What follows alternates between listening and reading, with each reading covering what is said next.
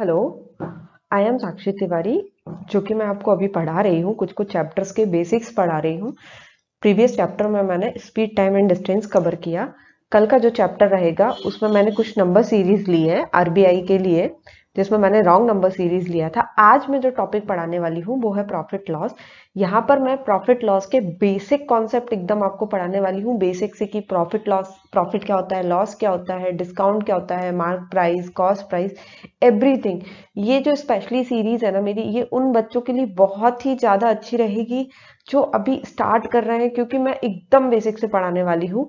और उसमें जो भी टॉपिक मैं पढ़ा रही हूँ, साथ में ही मैं कुछ क्वेश्चन प्रैक्टिस कराती हूँ जो प्री लेवल के क्वेश्चन है।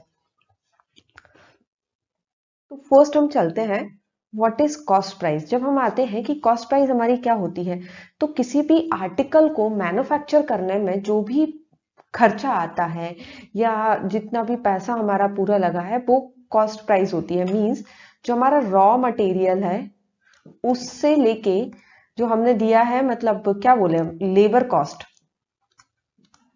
लेबर कॉस्ट जो हमारी रही है ये सब इंक्लूड करके किसी प्रोडक्ट को मैन्युफैक्चर करने में जो भी खर्चा आया है, वो जो प्राइस होती है, वो हमारी होती है कॉस्ट प्राइस ओके फिर हम बात करते हैं एमआरपी अब एमआरपी जो है, ये एकदम लास्ट वाली प्राइस होती है जो प्रोडक्ट पे रेट होती है. अब एमआरपी कहाँ पे होता है? जैसे कई बार हमने देखा है कि जो हमारे प्रोडक्ट्स है, उसके ऊपर एक प्राइस लिखी लिखी रहती है. एमआरपी क्या होता है? हमारा मार्केट प्राइस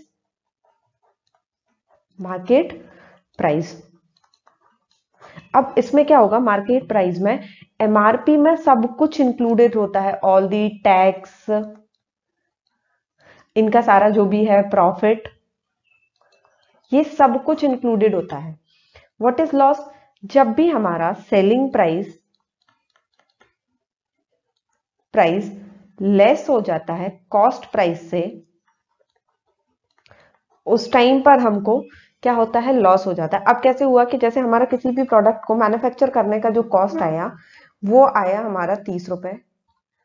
लेकिन कुछ रीजंस के कारण या रिसेशन या कोई भी रीजन के कारण हमने उस प्रोडक्ट को बीस रुपए में बेचा।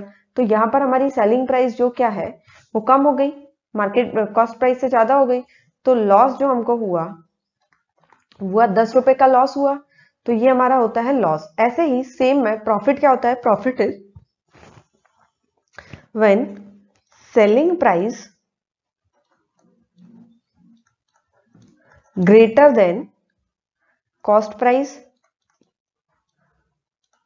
यदि हमारी सेलिंग प्राइस कॉस्ट प्राइस से ज़्यादा होती है तो हमको हमेशा प्रॉफिट होता है।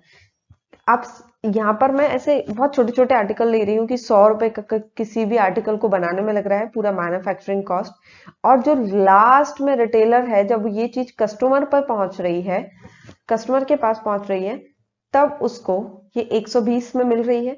इस सब के बीच में जो बीस रुपए का जो मार्जिन है ना, ये सबका प्रॉफिट है।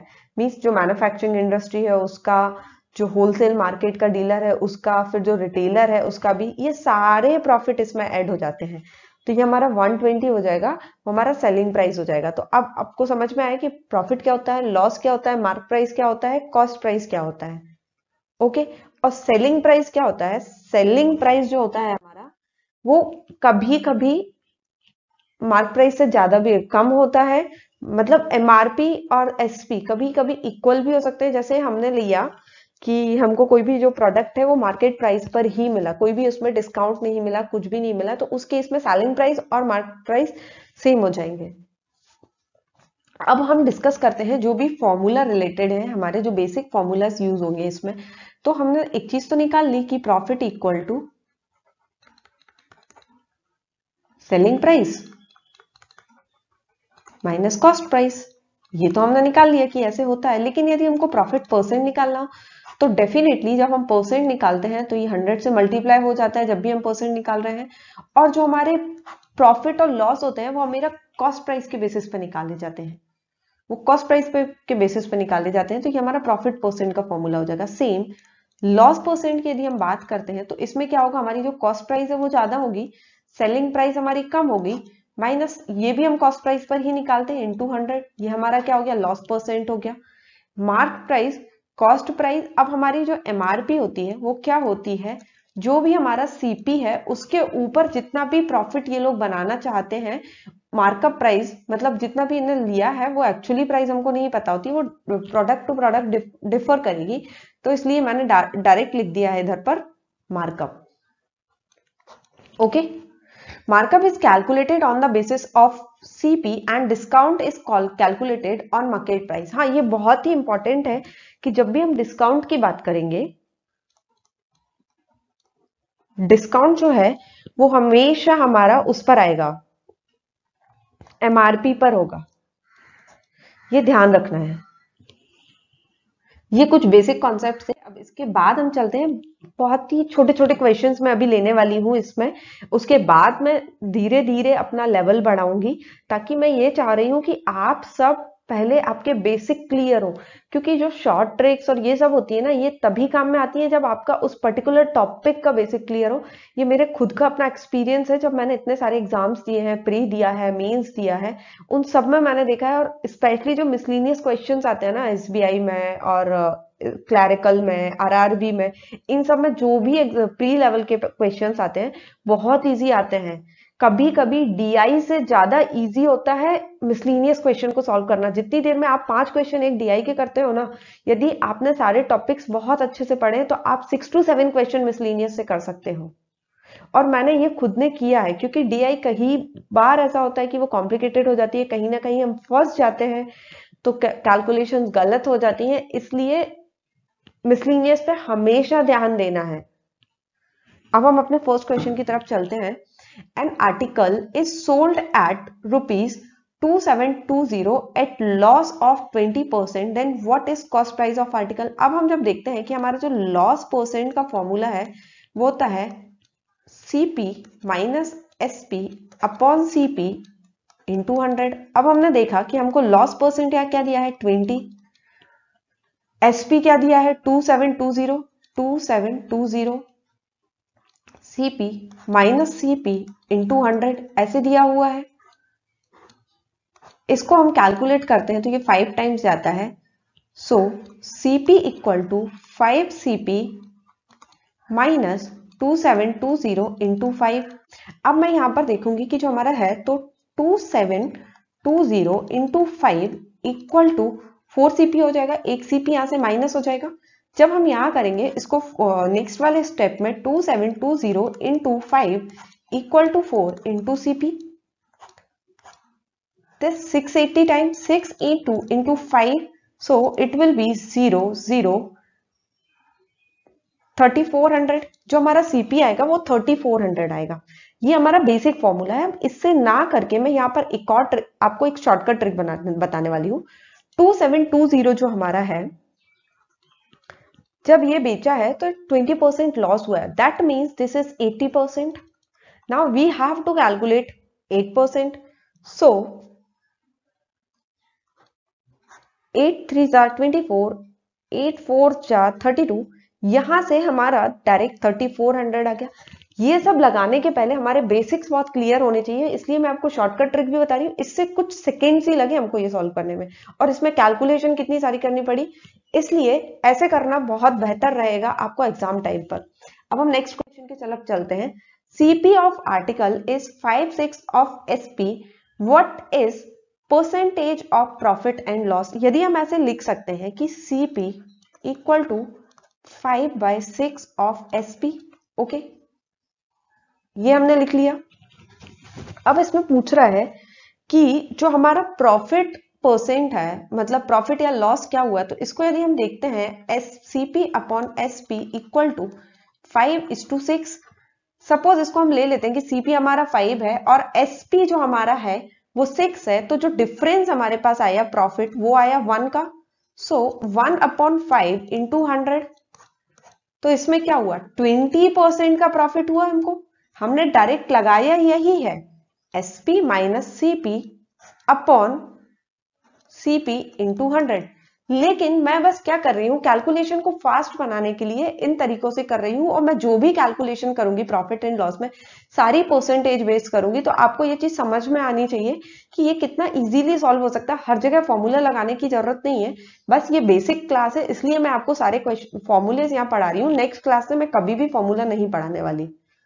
चलो नेक्स्ट क्वेश्चन पर चलते हैं।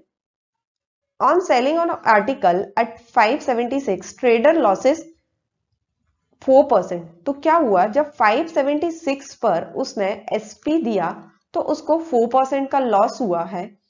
फोर परसेंट का लॉस हुआ that means the price this is 576 is 96 percent this is 96 percent okay so अब हमको क्या है? 100 परसेंट निकालना है। इसको हम कैंसिल कैसे कर सकते हैं? सात पाँच बारह हो छह ये थ्री से कैंसिल होगा। थ्री वन जा या फिर हम एक चीज़ और कर सकते हैं। इतना कैलकुलेट नहीं करके ये चीज़ हम देखेंगे कि जो nine six into five यदि हम करते हैं फोर एट्टी आ रहा है और इसमें नाइनटी सिक्स कर देते हैं। फाइव सेवेंटी सिक्स आ गया। ऐसे कैलकुलेशन करना चाहिए। तो ये सिक्स टाइम कैंसिल हो रहा है। दैट मीन्स जो हमारा सीपी है, वो हमारा कितना है? सिक्स हंड्रेड है। इसको हम बेसिक फॉर्मूले से यदि करते हैं कि ट्रेडर लॉसेस फोर परसेंट तो फोर परसेंट हम लॉस रखेंगे। एसपी हमारा कितना है? सीपी कितना है? सीपी माइनस एसपी हमारा कितना है? Five seventy six SP again CP इसको हंड्रेड से मल्टीप्लाई करना पड़ेगा। So this is twenty five times sorry हाँ twenty five times so CP equal to twenty five CP minus five seventy six into twenty five CP इतनी सारी calculation नहीं करनी है हमको एग्ज़ाम में, क्योंकि टाइम की बहुत कमी होती है बैंक एग्ज़ाम में। तो ऐसे करना सीखना है। मैं आपको सारे बेसिक्स भी बता रही हूँ, सारे इजी ट्रिक्स भी बता रही हूँ साथ में। हम अपने फोर्थ क्वेश्चन पर चलते हैं। Aman sells a bicycle at gain of ten percent Aman ने एक बाइसिकल को सेल किया at the gain of ten percent suppose CP उसका हंड्रेड था ओके? उसका गेन उसने कितने पे लिया? 110 पे सेल किया। If he had bought at 10 percent less अभी कितना था सीपी इसका 10 परसेंट लॉस नाइनटी रुपए में बेचा इसने okay and sold it at it for 132 less he would have still gain और क्या किया? सोल्ड अभी, इसने जो भी सोल्ड किया था, ये मैंने 100 ले लिया है, लेकिन यहाँ पर ऑलरेडी 132 लेस दिया है। दैट मीन्स हमको यहाँ पर कोई और वैल्यू लेनी चाहिए। तो अब हम क्या कर लेते हैं? इसको थाउज़ेंड ले लेते हैं, और ये ऐसे हो जाएगा। So this will be 900 CP अब क्या किया? If he would have sold 132 less अब उसने यदि 132 लेस पर बेचा है 968 का बेचा है he would have still gain ten percent तो 968 में भी जो उसको 10 परसेंट गेन मिला हुआ है। मींस 968 इज़ इक्वल टू 100 ये ऐसा आएगा।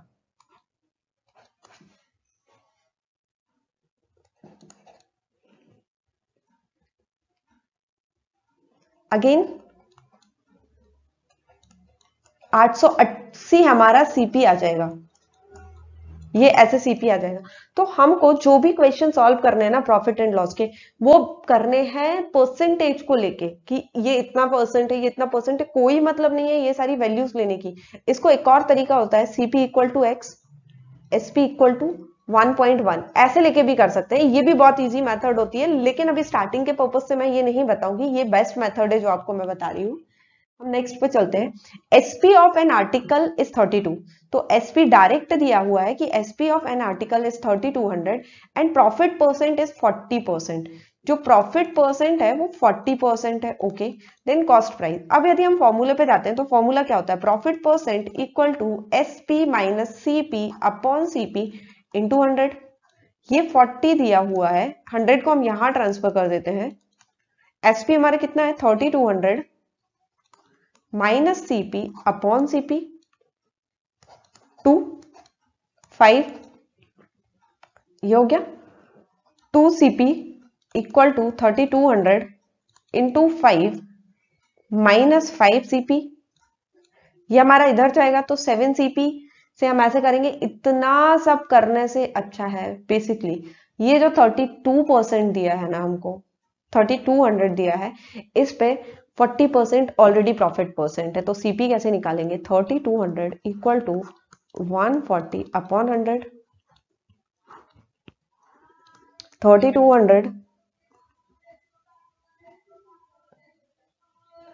okay upon 14 so 14 two जा 28 होता है हमारा 4 14 टू जा अगेन 28 12 14 हेलो तो जब हम देखेंगे कि ये 32 अब 120 आया तो 14 8 जा 1 1 मतलब 112 होता है हमारा। ओके अगेन ये भी आ जाएगा। उसके बाद, ऐसे जब हम कैंसिल करते हैं तो इन सारी चीज़ों में क्या हमको बहुत टाइम लगता है? तो इन सबको करने से अच्छा है कि हम डायरेक्ट डायरेक्ट करते जाएँ उसके बाद हम फिर से फाइव से डिवाइड करेंगे, क्योंकि हमारा फोर्टीन फाइव जा कितना होता? सेवेंटी होता है और यहाँ पर ऑलरेडी एट है तो ये भी आ जाएगा। अब कितना, ये सारे बच रहे हैं। फिर से पहले तो जो सीपी हमारा आएगा, वो आ जाएगा two two eight five point seven हमारा सीपी रहेगा। ये हमने आज की क्लास में सारे क्वेश्चन लिए। थैंक यू मुझे ऐसे लगता है कि आपको बेसिक समझ में आएँगे, और भी मैं आगे ऐसे ही बेसिक और इंटरेस्टिंग क्वेश्चन लेके आने वाली हूँ। Thank you very much